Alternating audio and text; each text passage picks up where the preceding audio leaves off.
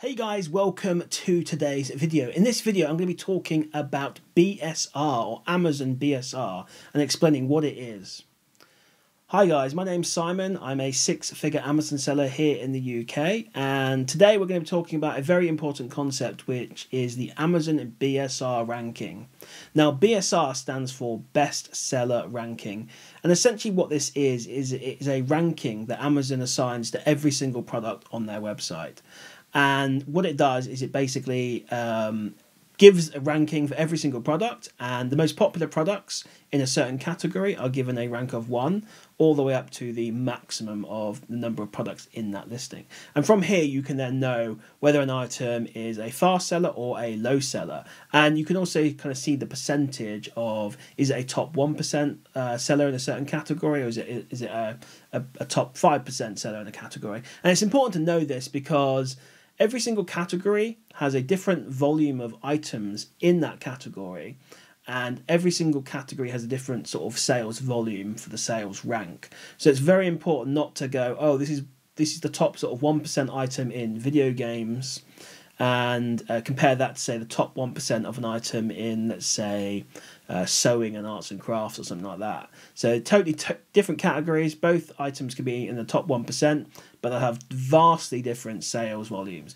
Now before we go on to the rest of the video i want to talk about my sponsor profit protector pro Profit Protector Pro is a best in class Amazon repricer with a bunch of algorithmic strategies that are already built into the software. Now, the reason that I like PPP, Profit Protector Pro, is because one, it's really easy to set up and really easy to assign certain sort of strategies to all your listings compared to other reprices that I've used. But two, it is a repricer that's trying to make you the most amount of money. So depending on which strategy you choose, and there are a bunch to choose from, you can basically allow PPP to push the price up on how much money you can make, and it will always be testing Amazon to see how much uh, it can get away with on Amazon in terms of the price before Amazon take away the buy box.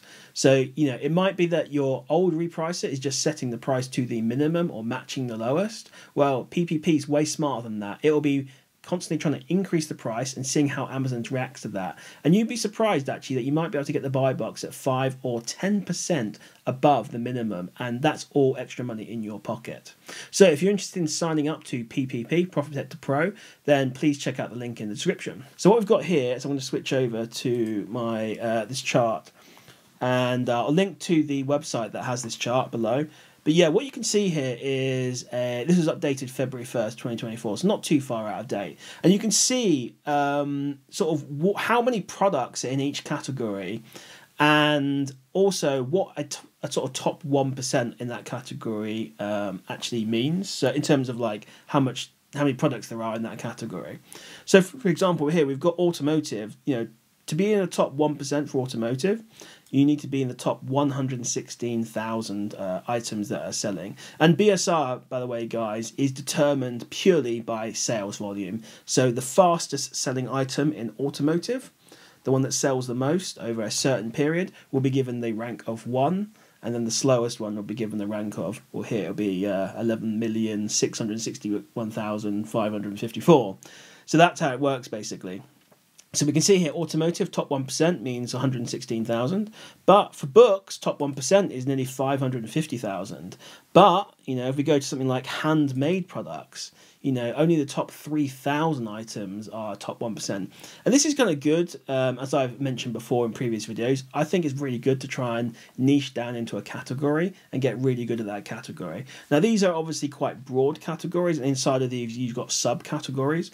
But at least this way, you can kind of see how big a category is that you're getting into. So, automotive, for example, which is a category that not many people get into, by the way, so could be a great one. You know, there's there's obviously a lot of products available here, and there's a lot of scope to be getting in terms of like what is the top one percent of sellers you know but then something like large appliances you know only 6000 products in the top 1% so, but what this doesn't show you though is the actual like sales volumes. So we only know that it's a top one percent item uh, or a top three percent or whatever, and how many items in that category.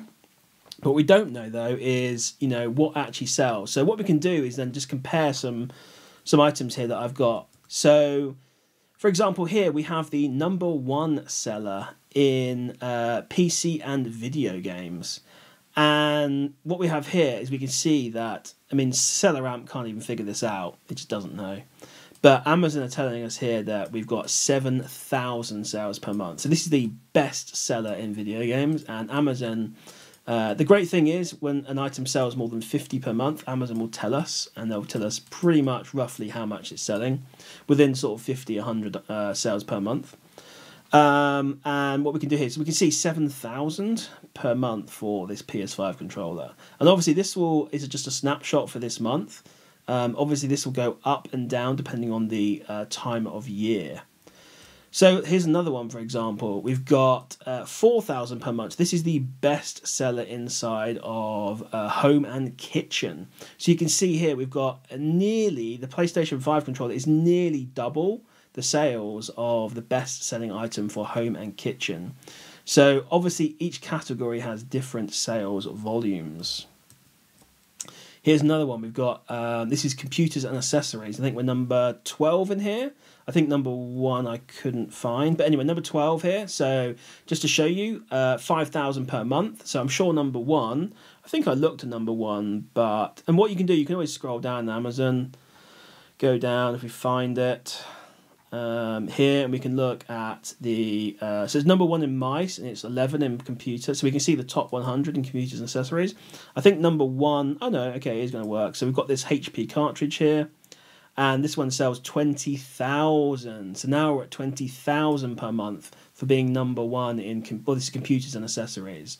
So again a, you know we're talking way more than pc and video games and here we have the top item for sports and outdoors. So maybe not quite as big a category. We only sell 1,000 per month of these.